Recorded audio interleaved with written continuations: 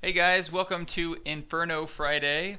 Uh, this week, me and Dreadnought were playing a little bit with our friend Grim, who's a demon hunter. Uh, he's a little bit less geared than us, so we're playing on Act 1. So take it easy on him when he dies a few times. He's pretty squishy for Inferno. He's very squishy. He has some funny deaths in here as well. Uh, Grim might be doing some Demon Hunter videos for Inferno Friday later on, uh, but right now he's just playing with us. And a lot of you guys have said in some of our comments that you would like to play with us as well. And so we're going to try to start doing that more often. We might do it every Saturday. But either way, if you'd like to play with us, let us know in the comments. And then hopefully once a week we'll pick someone and we'll do a video together. Um, so right now, it's not really worth grinding Act 1 if you have the gear to grind Act 2, 3, or 4 but it looks like it might be worth it in the near future because Blizzard's making some pretty big changes. Patch 1.0.3 is coming out later this month, this month being June, and there are going to be some major changes. None of them are concrete, but they're pretty solid on a few of those changes, and one of those is going to be item level drops in Act 1 and 2 Inferno. Right now, there's different tiers of items in Acts 1, 2, 3, and 4, but that's going to change in this upcoming patch. There's going to be drop a small drop rate for some of the best gear in the game in Act 1 and 2 uh, instead of just 3 and 4. So you're going to have to grind a little bit longer to find the best gear, but you can actually find the best gear in the game from Acts 1 and 2 after the next patch. Yeah, so if you, for example, can run Act Act 1 twice as fast as you can run Act 2, there's a good chance that it makes more sense for you to run Act 1 and get your gear that way. There will be about a 2% drop rate for the best gear, the item level 63 gear in Act 1, and an 8% in Act 3 and 4. So if you're doing Act 1 four times as fast as you're doing Act 3 and 4, it's going to be worth just doing one.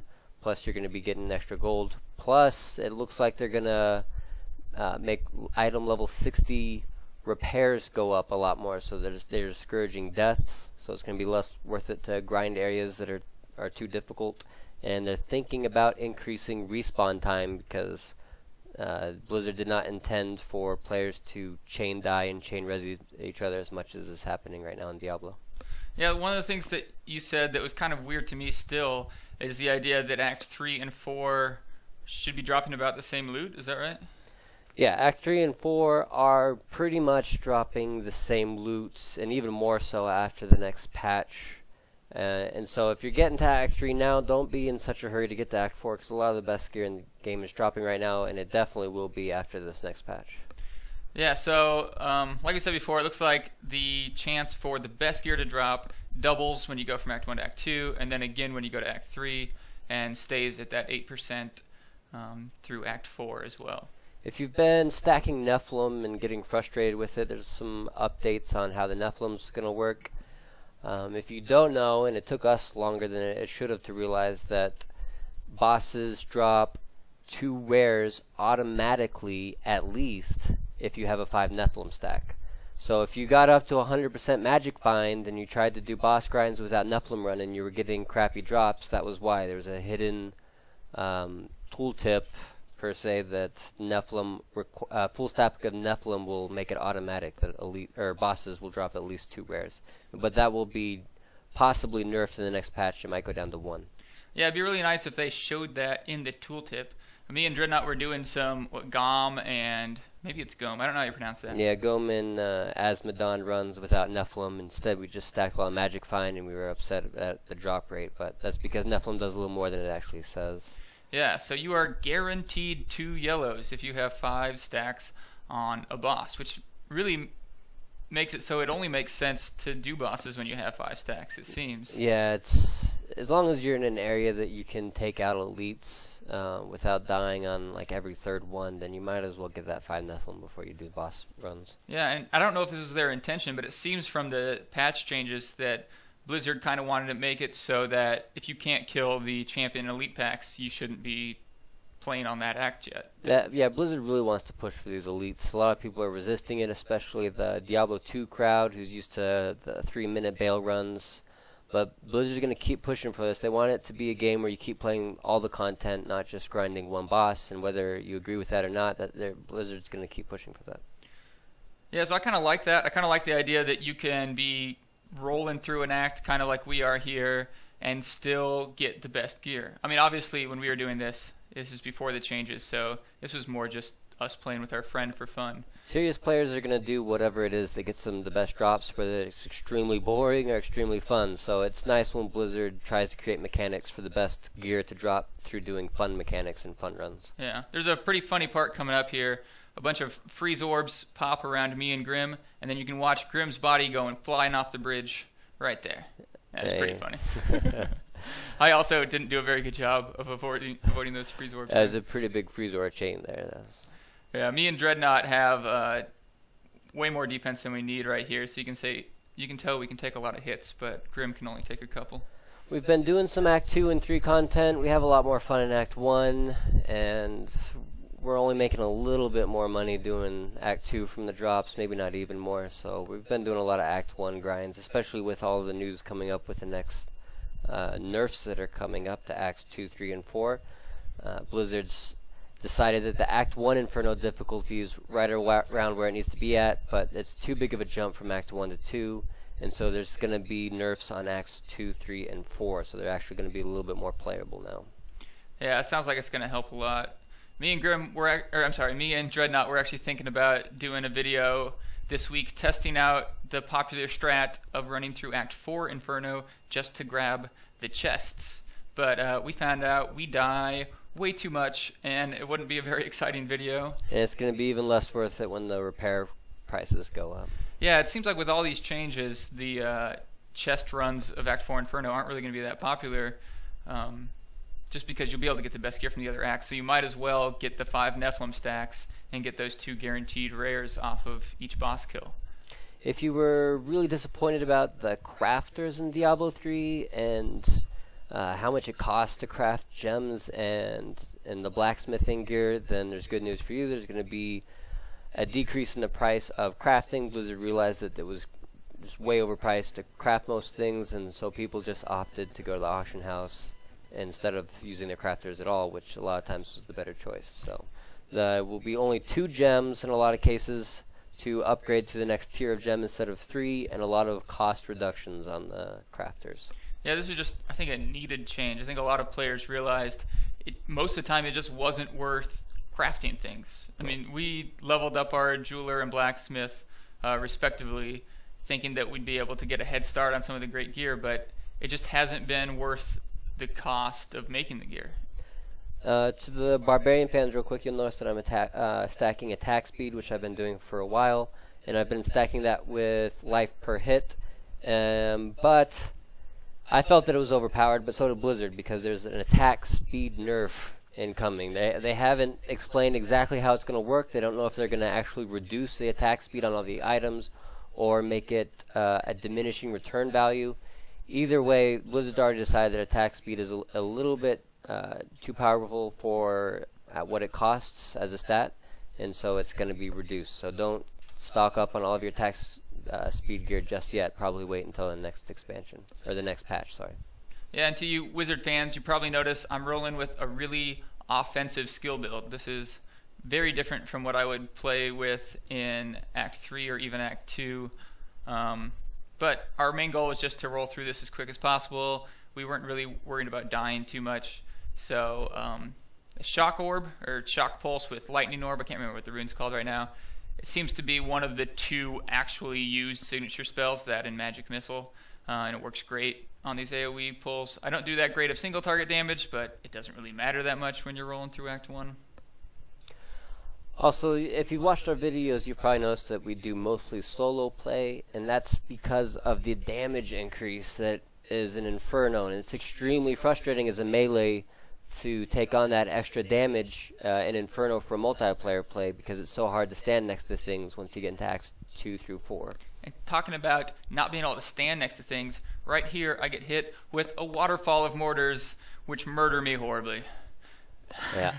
Yeah, if only you could zoom out 20%, that would have been avoidable, but that's not, Yeah, and that's that's not an option yet. that's another reason why you should always keep moving when you're fighting guys with mortars. Don't be a noob like me and stand still for more than a couple seconds, because that's bound to happen.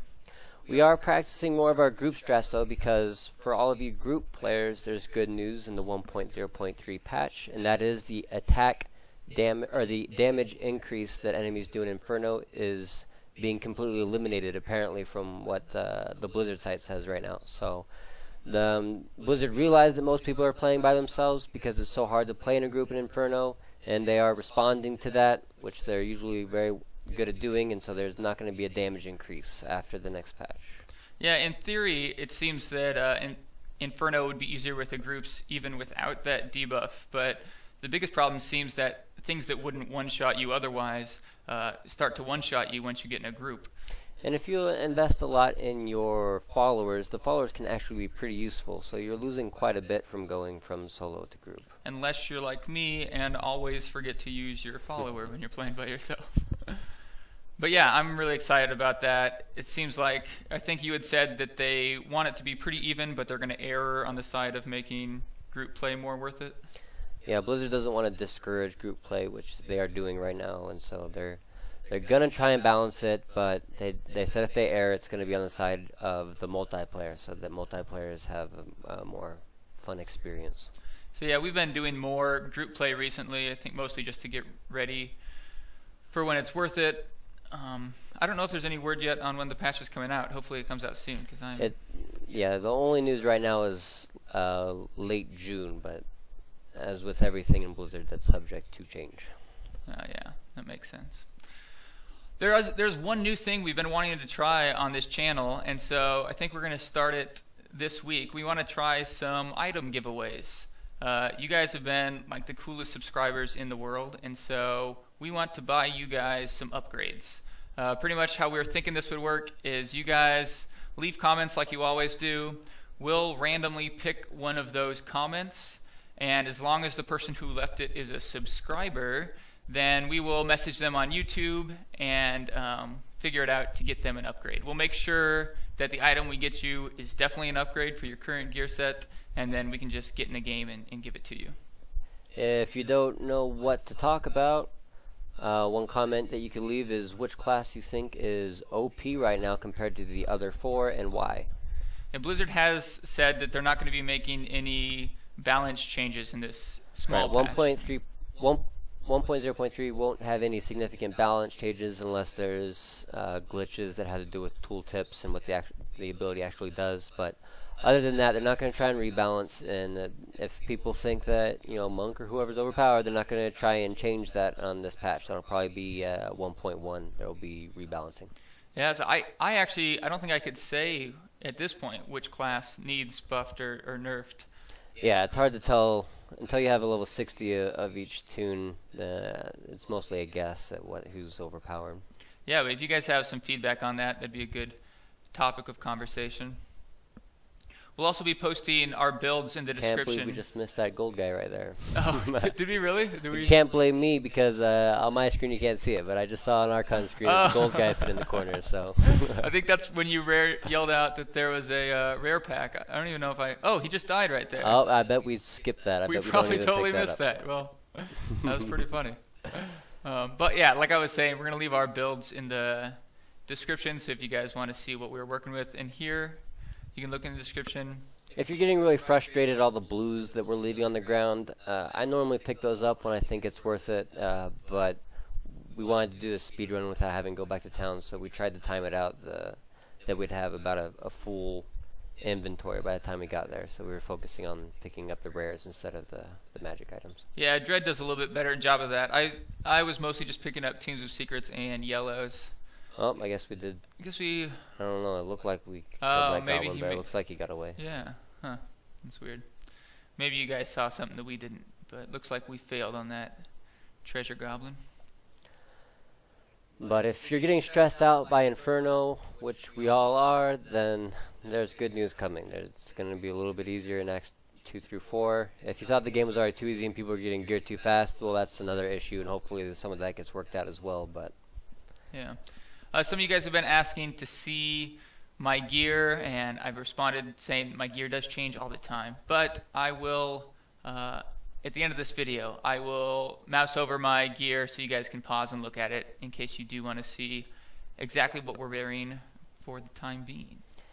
Yeah, one of the things we don't want to happen is to show people our, our gear and then have them go out and look for that exact gear to try and put on. Because we're not wearing all the best gear, obviously, and we're not. A lot of our pieces we're not real proud of, and we'd rather have something else right now. So we don't want to try and say, "Hey, this is the gear that you need." We focus more on stats, which stats you should be looking for, instead of specific pieces of gear. Yeah, I think on each of our channels we have videos that discuss how we choose our gear, what stats we look for. Um, not that there are any correct stats to look for. It really depends on your skill build and your play style. But you can see right now, I'm I'm not even avoiding the fire or his big hits right now. And as a barbarian, that's the luxury that you get when you stack enough resistances. When you have high enough resistances, then you don't even have to take the time to avoid some of those big attacks. And when you get to later difficulties, the attacks you can't avoid, you can actually take. So Yeah. And you probably noticed that from each of these bosses, the warden and the butcher, we did each get at least two yellows. So there's that five stack of Nephilim in action. Hopefully this video has been helpful. If you are one of these three classes, or if you're not, I mean, hopefully some of the news on the updates is helpful. Um, the subscriptions and the likes really help us out, so we thank everyone that's been throwing those our way. Yes, please. If you have not subscribed yet, do that now. We put out weekly strat videos. Uh, we usually do two or three videos a week. We're going to try to start doing more, but we will promise to always have a strat video out each week. And remember to comment to get put into the raffle to win, win a random piece. And we're not going to give you some crappy blue, it'll be a decent piece. Yeah, so. we will make sure it's an upgrade for you. It's going to be an awesome piece of gear. And if you'd like to play with us in one of the upcoming videos, leave that in the comments as well. Uh, we probably won't be able to play with everyone in one of the videos, but we will uh, go in the order to the best of our ability. So, again, thanks for watching, and we will see you guys in next week's video. See you later.